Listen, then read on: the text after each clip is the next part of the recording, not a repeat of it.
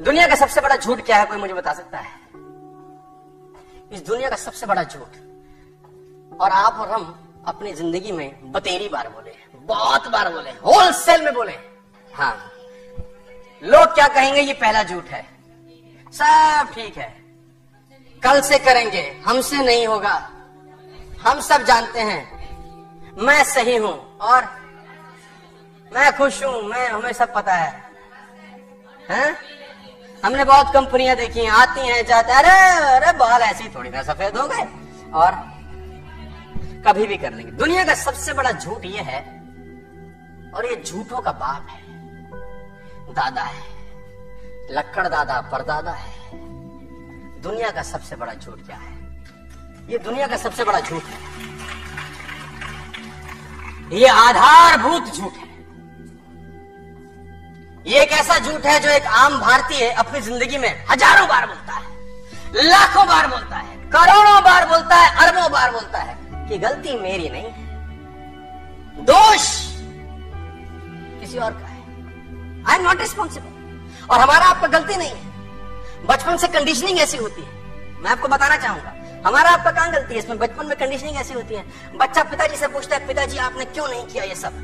पिताजी बोलते हैं, उसके बाद जो डायलॉग बच्चे को बाप पे दया आ जाती है। बेटा पाकिस्तान से तो लुट के आए थे। डायलॉग सुनो बापों के। क्या तुम अकेले लुट के आए थे? बहुत लुट के आए होंगे।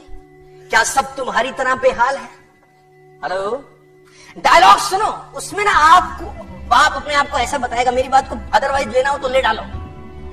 अपने को कोई तकलीफ़ नहीं अपन सच बोलेंगे साला आज। अपन सच में सच बोलने वाले देखो, सुनो मेरी बात। बात को समझने का कोशिश करो। हाथ में अगर फांस लग जाए तो तीला मारना ज़रूरी है यार। हाथ में फांस लग जाए, लकड़ी घुस जाए तो सुई लेके उसको खोजना ज़रूरी है। खोजते वक्त, सुई घुसाते वक्त दर्द करेगा, लेकिन ज़रूरी है, नहीं करा, हाथ काटना पड़ेगा कुछ देर बाद। तो मैं वही काम कर रहा हूँ आज। मैं मारूँगा सुई।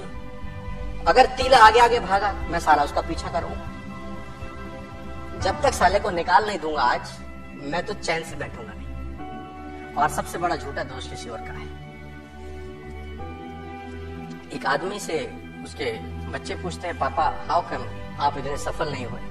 उसके डायलॉग ही अपने आप में सब कुछ बता देते हैं। वो अपने अलावा इस पूरी दुनिया की गलतियाँ बताएगा, जनाब। वो पूरी दुनिया की गलती बताएगा। मेरे साथ ये नहीं था।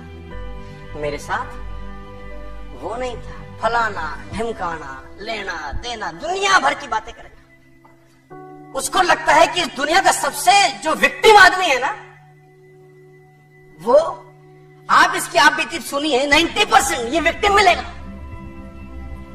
सर मैं आपको बताना चाहूँगा, इस चीज़ को आज काटा मार के जाइएगा कि दोष किसी और का नहीं है। अगर आप ज़िंदगी में सफल नहीं हो सके, सौ प्रतिशत दोष आपका है। कड़वा शब्द है, गंदा शब्द है, लेकिन इस्तेमाल कर रहा हूँ मैं आज आपके सामने किसी का दोष नहीं है, अगर आप ज़िंदगी में कामयाब नहीं हुए और आप ज़िंदगी में फेल हो गए तो सिर्फ़ और सिर्फ़ दोष। If the crop is not good who is responsible अगर फ़सल अच्छी नहीं हुई तो कौन जिम्मेदार है?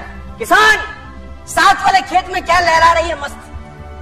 तेरे खेत में सफल, फ़सल ठीक नहीं हुई, तेरी प्रॉब्लम है। तूने ठीक से पानी नहीं दिया होगा, खाद नहीं दिया होगा, बहुत सारी टेंशन करी होगी। वो स्थितियों की बातें बताता है। इस कारण से मैं फेल हो गया। उस कारण में ही बहुत सारे लोग कामयाब हुए होंगे। हेलो उसी कारण में लोगों ने झंडे गाड़ दिए होंगे। ये खुद गड़ गया ज़मीन में उसी कारण से।